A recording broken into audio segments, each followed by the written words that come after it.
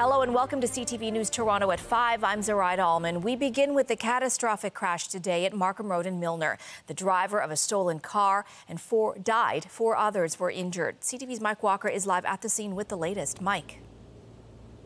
Well, Zuraidah, Peel Regional Police confirmed that the stolen vehicle uh, was stolen from their area, area. The province's police watchdog has now invoked its mandate and tells us that moments before this horrific and deadly crash, Toronto police attempted to stop the vehicle just north of the scene.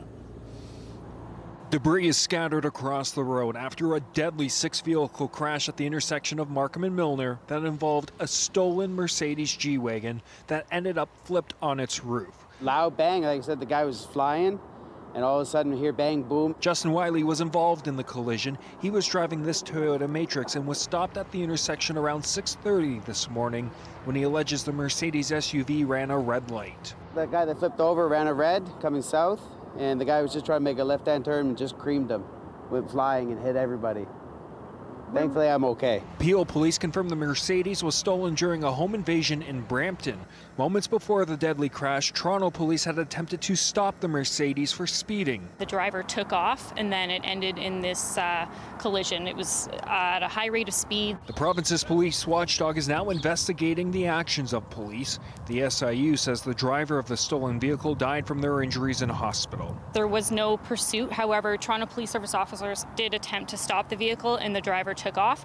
Um, that will be a key part of what the SIU will be investigating. Toronto Fire say they had to extricate three people from their vehicles. The SIU says the driver of this minivan is also in critical condition in hospital.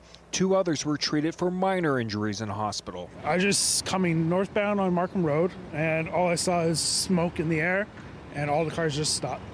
It's uh, pretty bad. Yeah, very bad. I've never seen in my life like that. I'm really scared what might have happened to the people inside the car, who it and whatnot. I'm worried and I hope all is well. Markham Road is closed between Sheppard and Highway 401, as well as the 401 westbound ramp to Markham Road, as two investigations, one by police and the other by the SIU, are now underway. Now, the SIU has not released the identity of the driver who died. Uh, investigators with Toronto Police and the SIU remain on scene at this hour. No word yet when roads here will reopen. Reporting live, I'm Mike Walker. Zuraidah, back to you. Thank you, Mike.